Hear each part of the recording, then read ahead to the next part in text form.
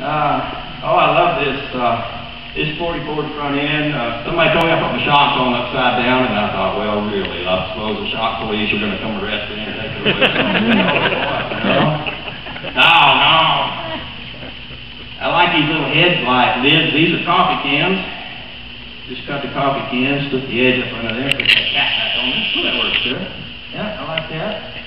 And, uh, one night I was trying to mount this alternator. This Cadillac motor had a generator that mounted right onto the side of the, uh, exhaust manifold.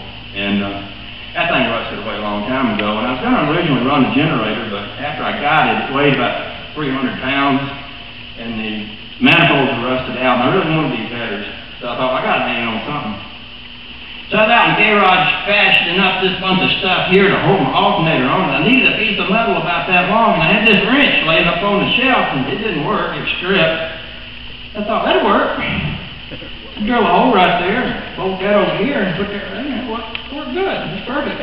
So, that got me thinking, oh, wrenches, what can I do with wrenches? So then I, then I was needing a, well, I didn't really need this, I, I just did this to be, just to be showing off, but when I needed a, a, a clutch pedal, I made one out of an old crooked, somebody told me this might be an A-model wrench, I don't know, but I made that out of an old wrench. And, and I didn't want my short shifter, I wanted me a big long shifter, so I welded me some wrenches up for that. And I got me some old wrenches I bought in, uh, we was out in the camper one day and it broke down. I needed some wrenches and I bought them cheap ones in truck stop and I thought, oh, make good brake line holders, you know, so put them on there and this piston came out of an air compressor.